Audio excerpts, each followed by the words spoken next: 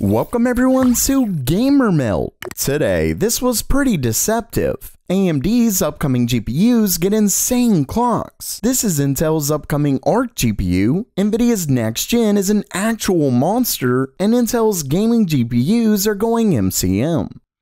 Okay, it's news time, and first up for today, I've been going over the upcoming PCI Express 5.0 connector that's slowly debuting on new PSUs and likely next-gen video cards. Recently, I discussed the fact that the new ROG Thor only has a 12-pin adapter, while the newer Loki has the full 12 plus 4 pin built in. The difference being that those four additional pins allows the GPU to pull 600 watts instead of just 450, but it was assumed that the Thor lineup had an internal ground, given those PSUs claim to give the GPU up to the full 600 watts. Well, it looks like ASUS just quietly changed their marketing material. As you can see, it originally said 600 watts to the GPU, but now it just says 450. So there apparently isn't any kind of internal ground that allows it to reach the full 600 watts. Now, I will say that they seem to mention 450 watts when they first announced the PSUs, but their own website said otherwise.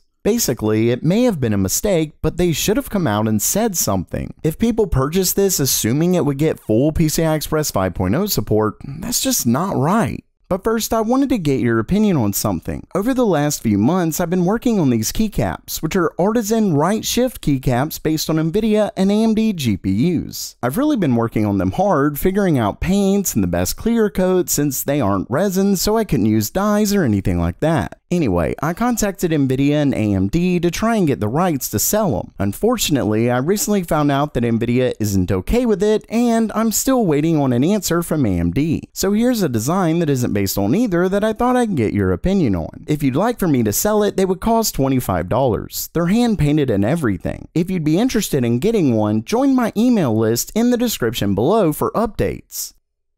Next up for today, if you've been following the channel, you know that AMD is set to release a new series of GPUs with the 50 moniker, like the 6950 XT, 6850 XT, etc. Recently, we found out that they're set to be built on the same 7nm process that the current cards use, and that was obviously a bit of a bummer, given the main difference would then just be faster memory.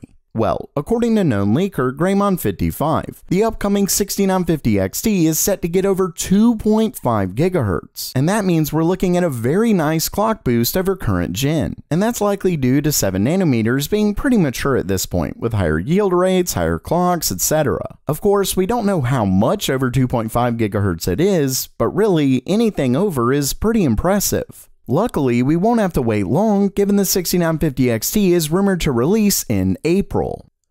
Next up, Intel's Arc GPUs are right around the corner, and that means major leaks, like this new one from VideoCardz. In it, you can see that we have a new shroud. It's similar to the silver shroud we saw a little while back from Moore's Law is Dead, except with a few changes. The obvious being that it's now a matte black color, which I have to say I really like. The PCB itself is also black, which really brings the design together.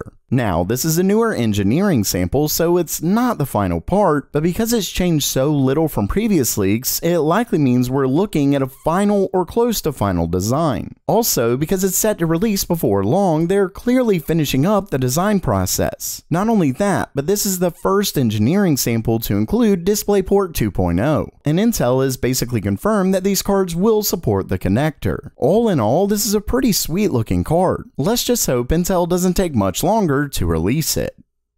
Next up, according to a post from the Chiphell forums and later reported by WCCF Tech, it looks like NVIDIA's next gen GPU is set to be an absolute monster. The rumor is on NVIDIA's upcoming Hopper GPU, which is set to be their next gen data center card. Now, I know that's a bit confusing because Hopper is supposedly coming to gaming cards after Lovelace, but it's actually set for the data center next. Either way, according to the rumor, the data center GPU actually comes with a whopping 140 billion transistors. For reference, NVIDIA's current top Ampere GPU, the GA100, only comes with 54 billion transistors. That's well over double the transistors. Of course, we recently heard that it's set to be a pretty massive die, so that helps explain the amount of transistors. Still, 140 billion is something like 2.4 times the amount on their current best. That's a huge deal. Let's just say Nvidia is set to release one beast of a GPU. Of course, with that, it definitely won't be cheap, that's for sure.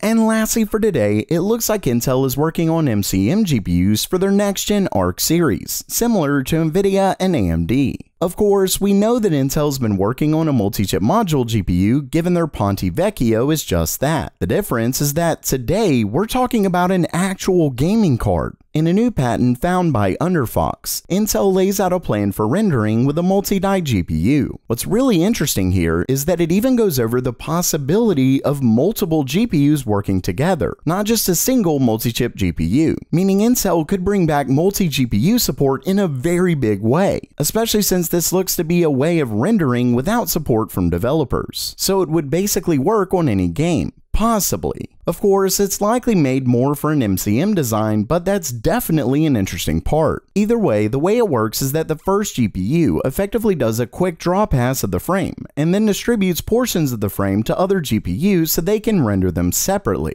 Once the GPUs are finished, the image is stitched together to make a single frame. Ultimately, this is a way of potentially using a multi-chip module design for much faster GPUs. Of course, the difference is that I don't think it would technically be looked at as a single GPU, but it's interesting because it may not require an ultra-fast interconnect. As Underfox says, while the example given in the patent uses four GPUs, it could also be used to connect way more. Basically, Intel's getting very serious about GPUs, and the future of gaming cards are looking extremely bright. Now we just need prices to come down. So while that does it for today, are you excited for the future multi-chip module GPUs? And what about Intel's sweet looking matte black GPU? Let me know down in the comments below. And if you liked the video, please subscribe. And as always, have a great day.